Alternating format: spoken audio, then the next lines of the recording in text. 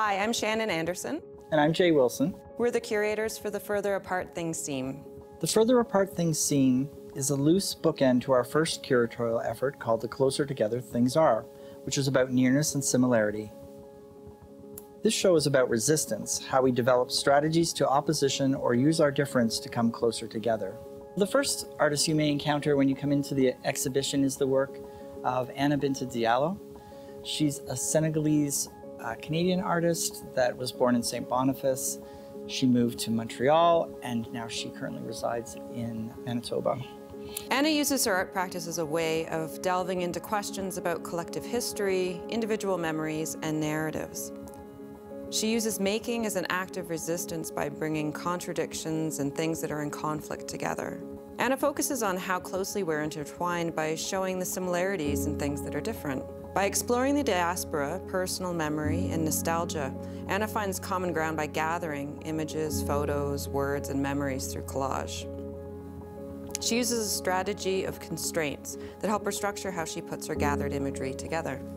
This is a body of work by Adriana Kuiper and Ryan Suter, who are artists based in Sackville, New Brunswick. They use found objects and quilts as a stand-in for sound, since many of the motifs play on patterns of quilting, yet depict symbols that evoke sound waves, fast forward or play buttons, pause icons, noise, or music. The objects they use both make and deaden sound. In conversation, they create a kind of feedback loop. The work feels like a silent or muffled protest. It's both extroverted and exuberant, but also introverted and silent. The videos are transitional elements between the materiality and immaterial elements of the installation by evoking balance and steadiness, motion and stillness. This is the work of Atanas Bozdarov.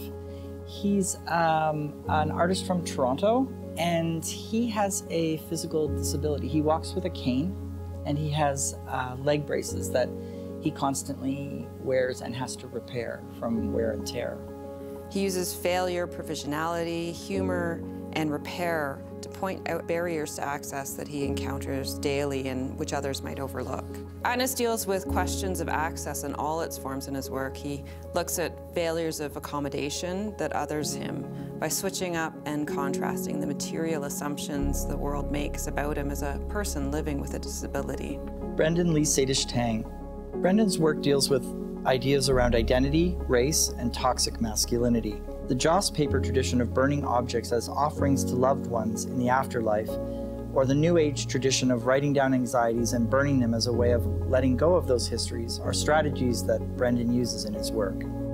The video shows the burning process in reverse, and also playing forward as a way of restoring loss. The works in the exhibition are similarly connected to Ford 150 culture and the ritual of burning is an offering of both acceptance and resistance. Barbara's work has a preoccupation with the formality of nets as it intersects with her interest in alchemy and to sculpture in general. The nets in these photographic sculptures are from the mountains of Peru, where the people that live there take action against growing water insecurity due to the effects partially of copper mining. Barbara uses juxtaposition and combination in an alchemical sense to depict con conflict. The sculptures are both photographic works and sculptures, heavy and light, soft and sharp. Couzyn van Heuvelen is an Indigenous artist that lives in Bowmanville, Ontario. Couzyn creates hybridized objects that link his Inuit heritage with Western techniques. The dog bollard is both on guard and at rest. It calmly allows passage while blocking the way. The dog is also a sentinel spirit, but also a silent guard.